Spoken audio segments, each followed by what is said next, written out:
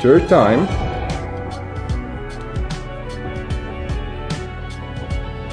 Pull it up so that the ink comes down. And then I go down again and I let two drops go back into the ink bottle.